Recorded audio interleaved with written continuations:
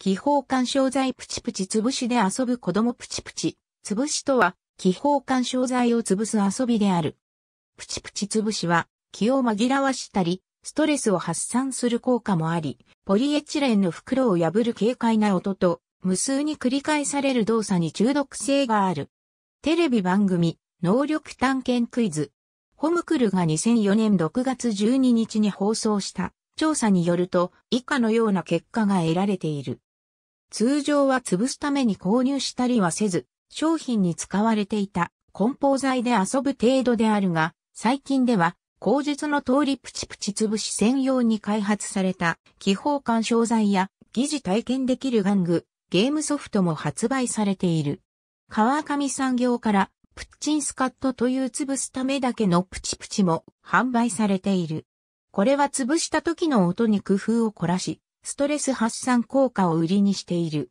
川上産業のプチプチの粒には約1万個の粒に1個の割合でハート型の粒が含まれている。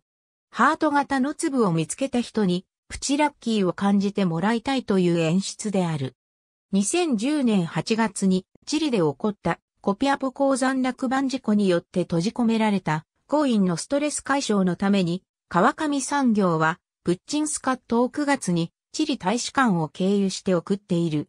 スペイン語での説明書きはつけずに送られ、作業員全員が楽しんでいたという。2000年12月21日にハドソンから発売されたプレイステーション用ソフトボンバーマンランドにプチプチ潰しをテーマにしたアトラクションプチプチが収録されている。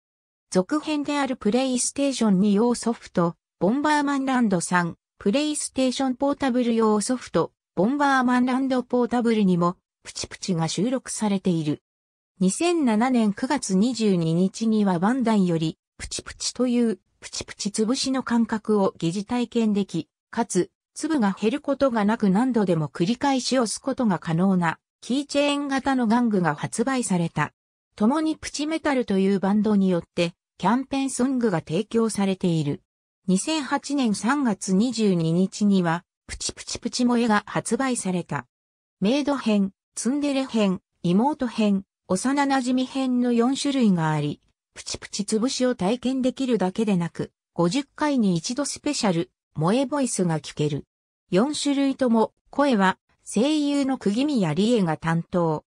例えばツンデレでは50回に1回、触んないでよ。変態。大嫌い。あ、ありがとうの4種類のセリフが、先の順番に出るようになっているほか、押すのをやめて15秒経つと、別に、寂しくないわよというセリフが再生される。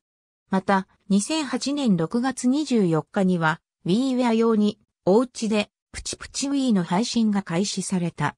3つのモードがあり、マインド診断、プチプチ、陣取り対戦の3つのモードがある。プレイするごとに、プチプチを米や、イクラなどにアレンジしたステージや、潰すことで演奏したり、潰す音が動物の声になるものなどのステージを追加できる。中には、ツンデレボイスが聴けるステージがあり、声優の伊藤かなえが声を担当している。ありがとうございます。